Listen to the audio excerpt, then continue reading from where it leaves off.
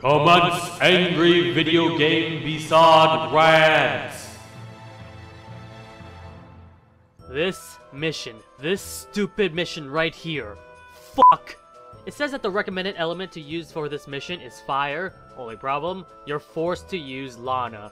Two of her weapons are not fire types.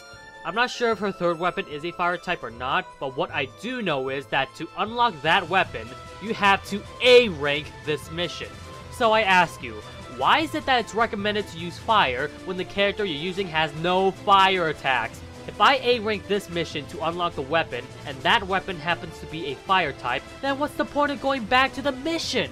Next up, your mission objective is to defeat two different guardians, then two different boss to beat the mission. Okay, sounds simple, except every one of those motherfuckers will bum rush to your allied base, making it way too hard to focus on your mission objective. So you have to go to the allied base and do not, I repeat, do not do anything else. Don't capture keeps, don't fight the mini-boss enemies, don't even fight whatsoever. Your first objective to winning this mission is to rush your ass over to the allied base as soon as possible. I captured at least one keep, and then when I went to the allied base, all of a sudden, red and yellow enemies, mini-bosses, raid captains, and faction captains are all on the allied base with half of the life points by the time I got there.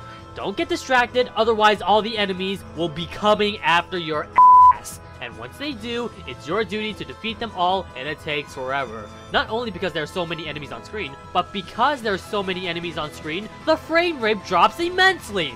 Slowdown issues, lag, the majority of the time spent in this box alone is spent waiting for the damn lag to disappear. And once you get rid of those guys, guess what? More guys come after you. These motherfuckers just don't give up. They will assault and pillage you to the core. It's a huge waiting game and it's fucking annoying. What's worse, what if you want to complete this mission? Get the gold Skulltulas, pieces of hearts, you're fucked! And Lana is not a very maneuverable person. She's not the slowest character in the game, but compared to the likes of Sheik, Link, and even Ganondorf, she's pretty damn slow. You can use your Deku Stick as a weapon for the speed boost, but what's the recommended level? It's fire. What's opposite of fire? Water. So if you want to make the mission even more harder for yourself, then go for this option. The amount of time I had to wait for this damn gold Skulltula, when I finally had the perfect time to get it, I got it, and then the allied base got destroyed. I was tired of getting the damn thing and I really wanted to rush getting through it by skipping the text. Only to have me accidentally use the damn special bar because the damn skip button text is the same goddamn button as my special attack!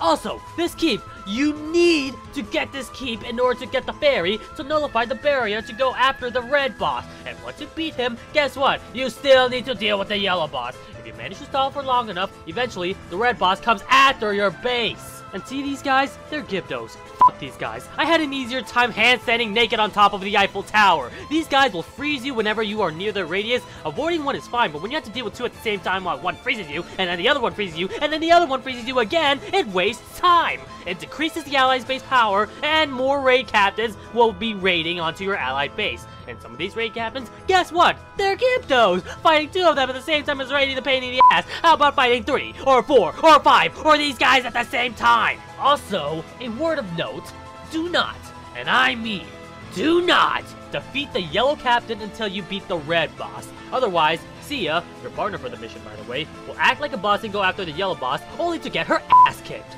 And guess what? You still need to deal with the yellow and red factions fighting in your allied base, while at the same time protect Cia from her stupidity. Otherwise, the allied base falls, or if Cia dies, it's game fucking over. And guess what? The allied base is here, Cia is over here stupidly fighting the fucking yellow boss. I don't know how, but I got lucky. I captured all the base, all the outposts, killed the bosses, and the best I got was a B rank. And what the fuck is this? Time is a C rank? This game expects me to finish this shit in less than 30 minutes? What the actual fuck? You expect me to fend off raiders, collect my rewards, capture the fairy, kill two captains, kill two bosses, while at the same time protect the allied base and Cia, while they're both in two different positions, all in under 30 minutes? How the fuck can I do that? More of the story is, level up Lana before tackling this mission. I was around level 30 when this happened, so I'm sure leveling up would make it a lot easier to deal with this mission.